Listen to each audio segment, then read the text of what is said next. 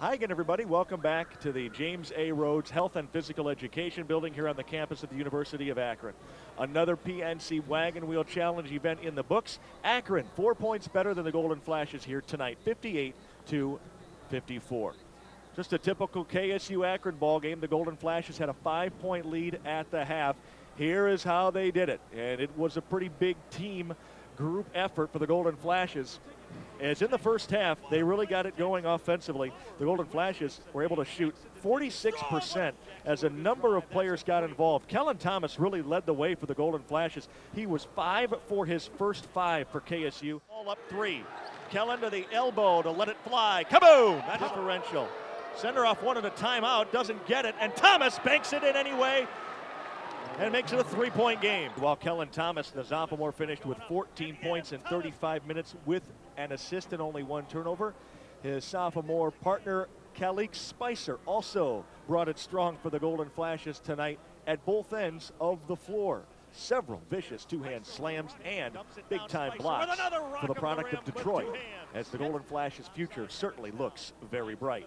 Down the lane, blocked off the glass. Just turned. Goodson backing in, spinning. Good dish. Spicer raises it up and slam.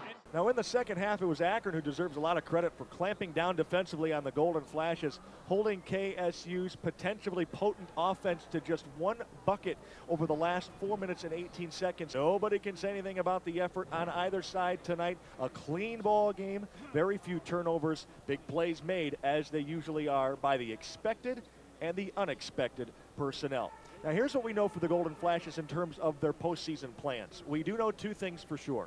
They will play on Monday in a first round game at a campus site. And we do know it will be away from the MAC Center.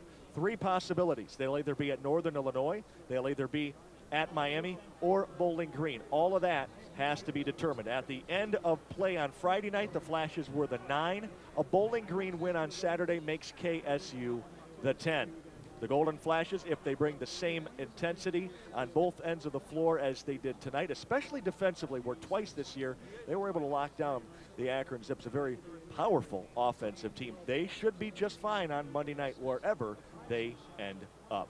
The final once again from the JAR Akron 58, Kent State 54. Until Monday, I'm Ty Linder. So long, everybody.